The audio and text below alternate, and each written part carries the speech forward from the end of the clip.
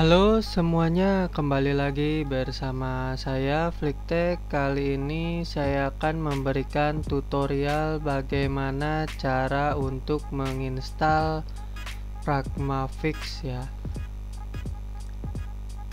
Yang pertama Anda lakukan adalah mendownload installernya ya, yaitu dengan membuka website pragmafix.org linknya akan saya berikan di deskripsi.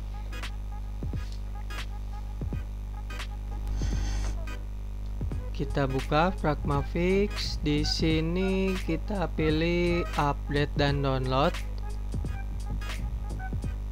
Setelah itu kita pilih download yang Letless Setup V521 yang terbaru jadi kita fokus saja kepada poin itu.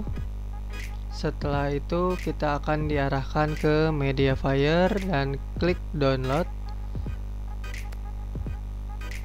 Setelah itu start download.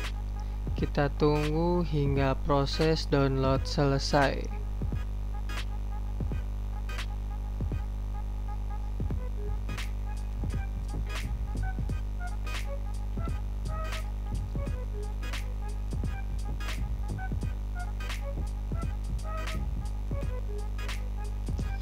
jika sudah kita buka hasil yang kita download tadi ya Pragmafix-nya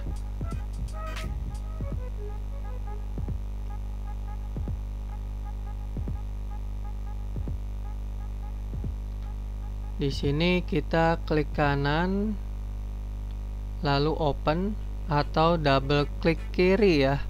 Bisa juga atau Anda mau mengekstraknya terlebih dahulu juga boleh.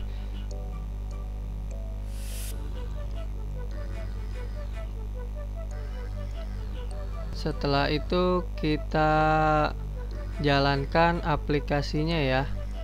Jalankan aplikasi installernya. Klik dua kali adalah tampilan untuk installer Pragmafix Setup. Kita pilih di sini yaitu next. Karena saya sudah menginstal, maka saya pilih yang modif. Jika kalian belum menginstal, kalian pilih langsung saja next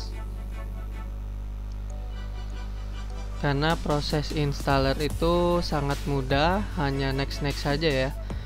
Uh, ini Pragmafix sudah selesai diinstal dan aplikasinya ada di desktop.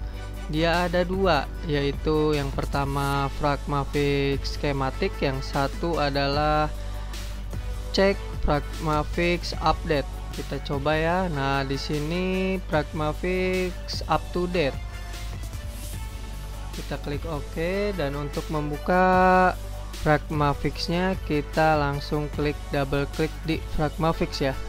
Di sini Anda mewajibkan untuk mengisi email dan password. Nah, kita akan lanjut di part 2. Bagaimana cara untuk melihat skematik di Pragmafix ya dan bagaimana tampilannya. Nanti ada di video part 2 Oke terima kasih sudah menonton ya. Sampai jumpa di video berikutnya. Jangan lupa untuk di subscribe like dan komen serta bagikan video ini jika bermanfaat. Dan saya ucapkan terima kasih sudah menonton. Sampai bertemu kembali. Bye bye